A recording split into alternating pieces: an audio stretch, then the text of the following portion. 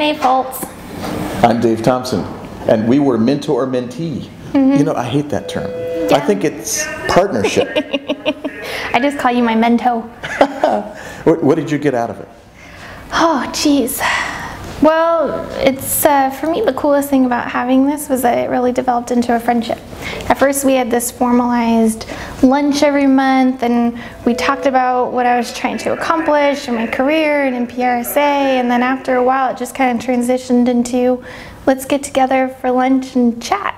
You know, I, I think that's absolutely the case. You know, we started out with this idea of what a mentor should be, and I think it became a partnership. I love that word much more than mentorship because I learned a lot from you. I think I got out of it probably more than, than you did, I- but it helped me put more into it.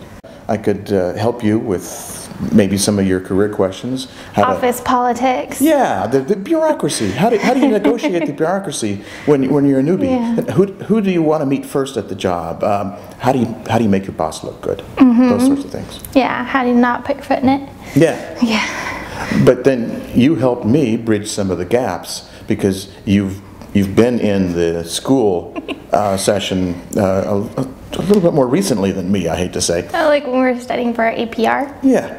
And so, I mean, not just social media, but all the latest stuff. Yeah. You helped me make sure that I was at least familiar with it if I wasn't an expert. I've learned how to be a mentor myself, and I'm now mentoring three people in a peer to peer mentoring situation. That's and uh, in all honesty, I think good mentor relationship is more peer-to-peer partnership.